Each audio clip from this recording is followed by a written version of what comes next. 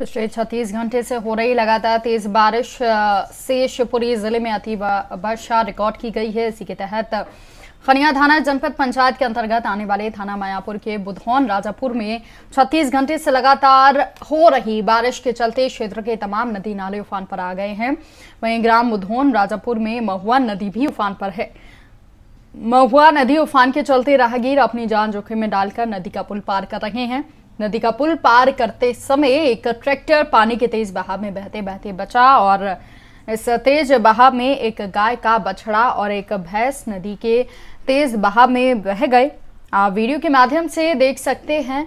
वहीं राहगीर पैदल भी नदी के पुल को पार कर रहे हैं। यहाँ पर प्रशासन और मायापुर पुलिस अभी तक नहीं पहुँची।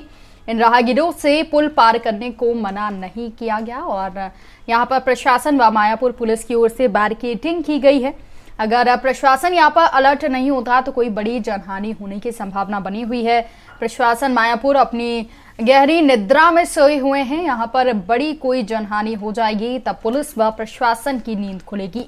अभी तक यहाँ पर प्रशासन के द्वारा कोई इंतज़ाम नहीं किया गया है और ना ही नागरिकों को नदी पार करने से रोका जा रहा है।